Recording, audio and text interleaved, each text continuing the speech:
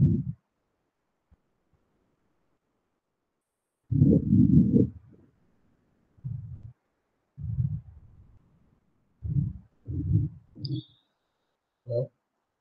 I'm Salman Ibne, so I'm the only member of this group.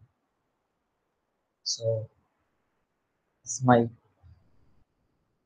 AI final lab project. So I have used a mushroom dataset here, which I got from Kaggle. So basically this we can, let's see the dataset so we can there's some characters variables in various column. So this dataset can be used to classify mushroom as poisonous or edible. So you can see in this dataset there are specific characters for each column. So we talk about this in detail. So here each character in this dataset has some meaning. So for different mushroom, mushroom cap shape, these B means bell, conical means C, convex goes to X. So in this way, different properties of the mushroom is denoted with different characters of alphabets or alphabets in the dataset. So like cap color is orange, so this is denoted by G. In this way, other colors like pink is P. And similarly, all of these features are denoted with some characters. So firstly, this I have uploaded the dataset in Google Colab. So I have now since I have already uploaded, so this I have uh, commented out this part. So then I use up imported some libraries like pandas, seaborn, matplotlib, plotly, etc. So this line actually loads the data set. So using pandas period read underscore CSV. So let's see what's there in the data sets. So I have uh, printed the first 10 values of the data set. So it has class, cap shape, cap surface, cap color.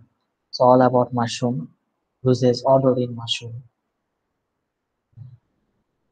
A lot of information like mushroom stalk color, mushroom pop population from different population, and habitat from which they're collected. So each this U, G, these are all different habitats or different population of mushroom. So we can use this data set to classify different like the mushroom is poisonous or eligible we can different machine learning models. So so I have then printed the last five values. For last five rows So then I use mush underscore info which gives a is a panda data frame. There are 8024 entries and some ranging from 0 to 8123 and there are total 23 columns and on non-null objects. So this line gives like for the class column there are two unique values P and E means poisonous are eligible and there are D types for all the columns. They are all objects and also shape there are 8,124 rows and 23 columns in this data set. So I have checked for if there are any null values and for each column, the number of null, null values are total number of null values are calculated in the sum function. So there are no null values in this data set as you can see. Similarly, there is no NaN values as well. So the mush underscore describe is used to see the number of unique values, number of count frequencies for each column. As you can see, the class has two unique values, cap shape has six unique values, cap surface has four unique values, and similarly all the other unique values, frequencies, etc. So as you know that this data set is mainly consist of categorical variables. So we need to use some pre-processing or feature engineering techniques to normalize the labels to assign some some like some numerical values instead of categorical variables. So here we are will be we are using I've used label encoder class from scikit-learn. Learn. So from SQL under preprocessing input label encoder, then I use the label encoder function. With the transform function saved it in a new variable or list. So machine encoded I have first 15 rows are have printed. So now uh, you can see that all are like numerical values. So what label encoder does is this gives some hierarchical values to all the features. So as you have seen that, for example, cap shape has six unique values.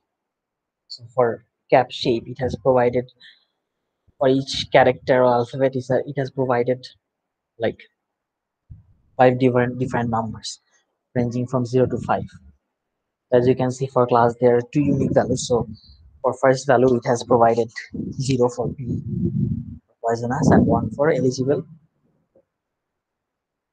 so similarly for there are probably for cap colored let's see there are four different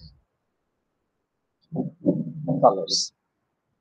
So if for cap color there are 10 different colors. So you can see values from 0 to 9 so 9 so the in this way random values is like it's not random. It's like a hierarchical way values are assigned different values are assigned to different characters. So if we call the max function we can see that class has the maximum value of 1 0 and 1 cap shape has maximum value of 5 0 to 5 cap surface at maximum value 3 that means it's 4 0 defining unique values cap color has 9 that means maximum number is 9 that means there are 10 values gill color must be well defined color shown so uh, the number maximum number is 11 also there is describe function again called to show the count mean max of this number and what the 75 percent and 25 percent of data set means what are the values. So then i use the column. The column so this shows all the features or column name of the data set. Underscore encoded. So then it comes to visualization. So matplotlib library is used here and this parameter actually fixes the x-axis and y-axis size label size title sizes so they are all large and then def plot function is uh, in the under def plot method. So sns, sns.count plot is used which basically counts the number of mushroom for different like you. It is different for different categories. So as you can see poisonous and edible number of poisonous mushrooms and edible mushroom are counted and shown in graphs. So mushroom poisonous mushrooms are more similarly shape for shape bell means P, conicals means c convex means x flat means f as i say already. So here again plot minus column is used and hue is used as class. That means mushroom cap size number of mushrooms with defined cap size. Are calculated or counted based on that they are poisonous or edible. So the blue bar, bar plot shows the poisonous one and the pilot shows the edible ones. So the one with cap shape cap with conical shape and poisonous are more in number. Also sunken cap shape is more in number for both poisonous or edible. Then you can see mushroom cap color quantity. So red, violet, blue has more. Red, violet, blue mushrooms. Cap color with red, violet, blue mushrooms are more in number. Also, you can see mushroom cap surface quantity. The different cap surface like groove, smooth, steady. So groove and smooth are more in number. And there are also a plot for mushroom odor quantity. So you can see the creosote as with the creosote odor, more mushrooms So then I have plot wise plot pair wise wise relationship for mushroom stalk categorization. So they are defined like stalk root, stalk surface, above ring, stalk below ring. So here regression plot is used based on whether they're poisonous or edible. So the blue line shows where the poisonous one with stalk root and the orange one shows the edible one with stalk root. So, and the regression plot is shown to us show that that there is a relationship between the x and y axis. Then I used plotly to visualize like number of samples. Their values underscore count method is used to count the number of samples with different class. So like there are 3,916 uh, poisonous mushrooms and 4,208 edible mushrooms. Then I use plotly to plot another graph which shows the mushroom habitat percentage. So they're collected from different habitats like woods, grasses, leaves are one. So more mushrooms are collected from woods then from grasses. From grasses there are 21, 2,148 samples are collected. So as you can see, Plotly is a very interactive plot. It shows percentage, also the sample number. So I have used Plotly because it's a very interesting form of visualization inside the data set. So then histogram plot is used. This time based on cap color and we different like edible based on edible and poisonous shown. So this shows class one, that means uh, edible cap color 0 and this 71% count.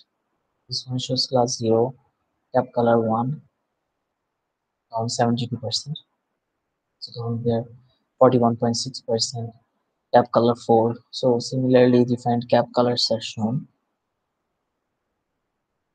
This is pretty much interesting graph. So also we can plot using plot like mushroom color quantity.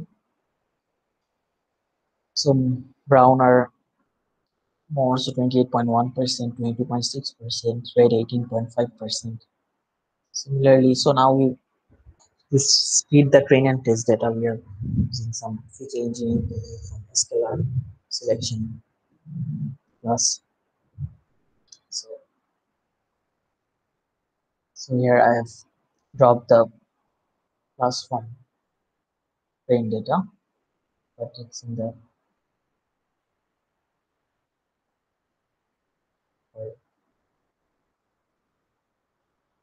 this data it's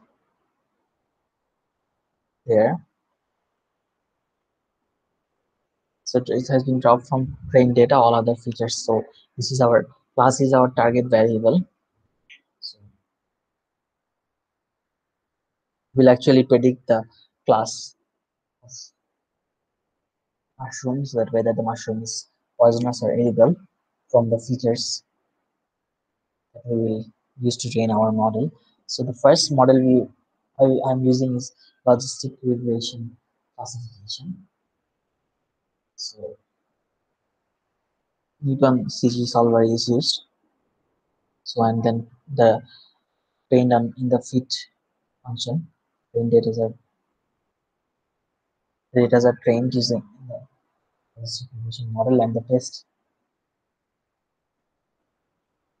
values are then printed. So it has a pretty good like test accuracy.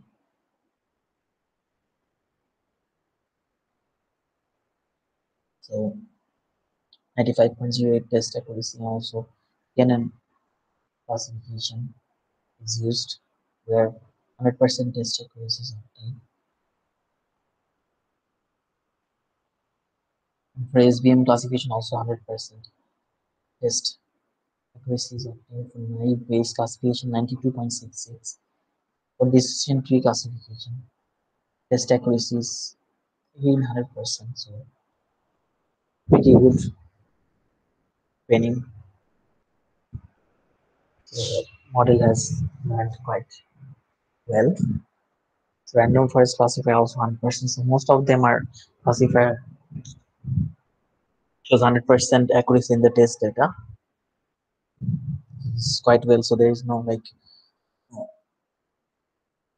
overfitting or something. Then I've used confusion matrix to show that whether they're too much false positive or false negative values. So basically for positive regression and for naive Bayes, the confusion matrix is plotted using heat using SNS.heatmap that is Seaborn library. So this is the heat map. So as you can see that our train and test data are balanced, so our model is predicting most classification So this is a great data set for predicting mushroom classification whether they're poisonous. So I have plotted pie chart and bar chart visualize the data that they are plot using Seaborn and NATPOT. So feature engineering is also done because level I think have successfully done this project. It was a great experience for me.